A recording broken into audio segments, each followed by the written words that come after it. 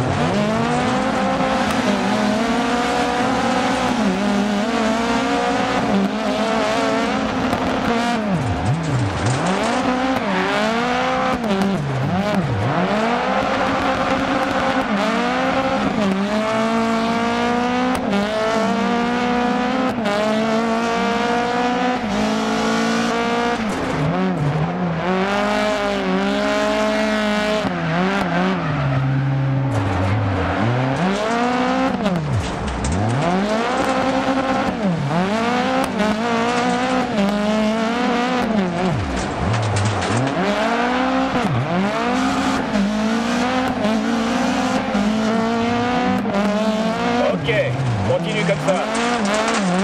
Il se détache de la voiture devant.